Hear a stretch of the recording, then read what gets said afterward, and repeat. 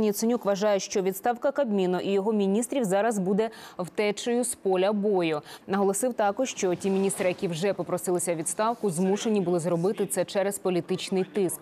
Яценюк закликав членів уряду надалі працювати і зазначив, що з 96-го року Кабмін вперше подав звіт до парламенту і готовий до зустрічі з депутатами.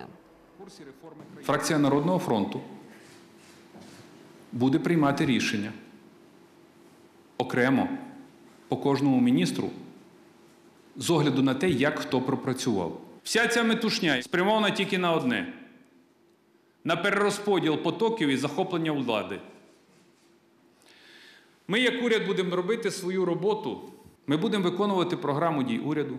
Ми будемо захищати членів своєї команди.